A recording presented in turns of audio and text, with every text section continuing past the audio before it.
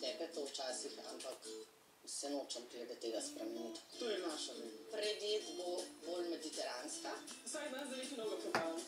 V bistvu nič posebnega, ampak pripravljena na drugačen način. No? Imamo prostor za naslednjo jed. Se mi zdi, da dala vse iz sebe, pa še več.